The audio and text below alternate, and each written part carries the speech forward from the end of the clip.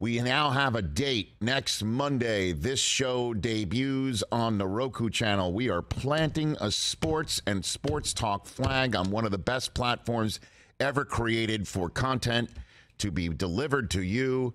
Thanks to our friends at Roku. Roku players and TVs will get us for free. And that's because that's where the Roku channel lives. Same on Samsung Smart TVs, Amazon Fire TVs, the Roku mobile app. It exists and you get it on your phone, and the Roku channel can be streamed for free on your mobile devices, and then the RokuChannel.com desktops starting on Monday. We will be there on the Roku channel for.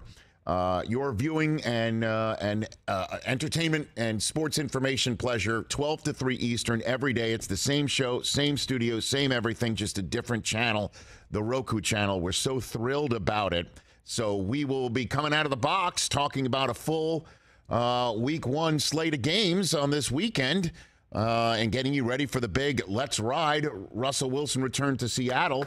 Uh, the Monday night week one finale. We're so excited about all of that.